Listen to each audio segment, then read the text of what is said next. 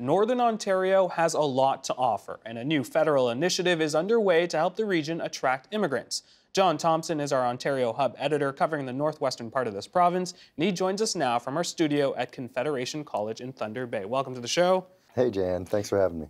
Now, Jon, you have a piece on TVO.org that looks at immigration in northwestern Ontario. Tell us about the need there. We were surprised in 2015 in Thunder Bay to have the North Superior Workforce Planning Board release a report that said that Thunder Bay District, the population of 150,000, is going to require 50,000 in migrants by 2041. That would be 25 years. Uh, so that, that's a third of the population. Um, in, in much of Northern Ontario, it's the same. In the larger centers, it's particularly acute. Uh, Thunder Bay is extreme, but in all of the major centers and most of the small towns in Northern Ontario, we're looking at uh, we're looking at sharply declining populations over the next couple of decades. I'm curious about that pace. You said 50,000 over 25 years. What's the pace right now? Uh, we're only looking at maybe uh, between 50 and 100 a year uh, right now. And that's in terms of immigrants, not in migrants. There's not as clean of a way of recognizing just mm-hmm. people who are who are moving in and out of here. Uh, but the numbers are not looking good. Uh, it's it's at least 20 times more than we're currently doing a year in Thunder Bay. And, and, so the federal government, of course, is trying to fix that. They launched earlier this year a pilot project. Tell us how that's working. The uh, rural and northern uh, immigration pilot is based on the Atlantic pilot, uh, which uh, we're told is just about doubled the immigration numbers in uh, Nova Scotia and Prince Edward Island uh, and increased the retention rate by about 30%. So that project is for 11 communities across Canada, uh, five of which are in Northern Ontario. So that's Thunder Bay, Sault Ste. Marie, Sudbury, Timmins, and North Bay, what we call the Big Five in the north, uh, will all be targeted for immigration uh, over the, the course of this pilot. So, of course, we're in the middle of an election. Uh, this, this pilot project was launched just a few months ago. Will the outcome of the election affect the pilot project? I think it's more likely to say the outcome will grow on the project.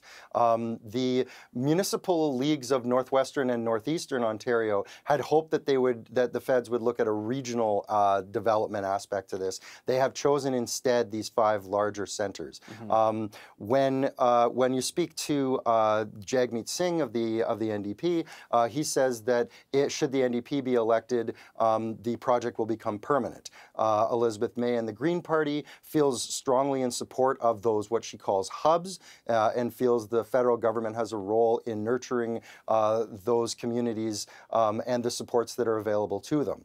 Um, and so, and the liberals will allow uh, this to, to work out the way it will. I think what's important to remember is that the um, is that this is will only be one stream. And so it's not as if this can handle the actual entire immigration needs of the region.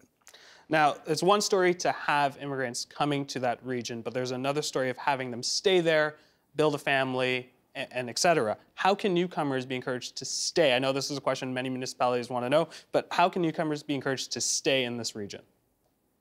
Well, I think uh, the way that they're doing that is uh, is based on those uh, those communities of support and the federal government's services uh, being stronger uh, in those larger communities. When I speak to mayors uh, and uh, economic development officers in smaller communities across Northern Ontario, uh, they all kind of say the same thing, and that's that they, they do have the problem with cultural coagulation.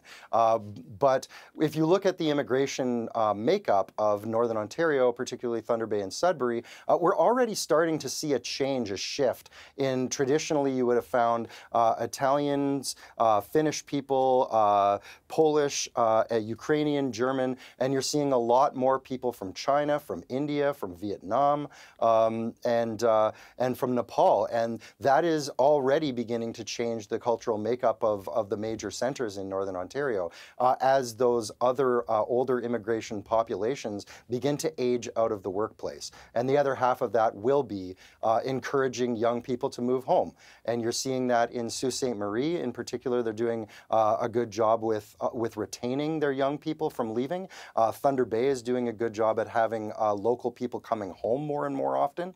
Um, and so all of this will be sort of a tapestry uh, as they attempt to reach these numbers to replace the aging populations and retain uh, the size of the existing economies. Remember, if we don't do this, we're going to see economic contraction.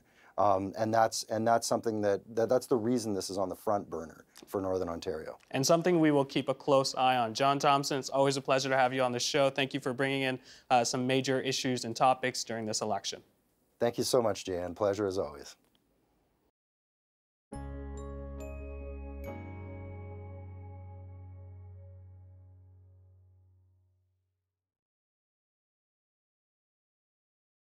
The Agenda with Steve Paikin is brought to you by the Chartered Professional Accountants of Ontario. CPA Ontario is a regulator, an educator, a thought leader, and an advocate. We protect the public. We advance our profession. We guide our CPAs. We are CPA Ontario.